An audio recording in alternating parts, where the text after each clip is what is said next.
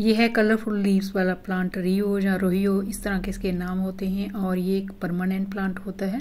और एक प्लांट आप लगाएँगे तो कब इसके 10 पीस या 50 हो जाते हैं, पता भी नहीं चलता है। बहुत ही खूबसूरत से पर्पल और ग्रीन कलर के इसके लीव्स होते हैं। इसको आप गमले में, बड़े गमले में, छोटे गमले में और हैंगिंग बास्केट में लगा सकते हैं। और इसमें तीन टाइप के आते हैं, एक देखिए ये है और दूसरा देखिए ये है। इसमें फूल आते हैं प्लांट के नीचे वाली साइड और इसको बोर्ड लिली भी बोलते हैं। और इसके पत्ते थोड़े से साइज़ में बड़े होते हैं।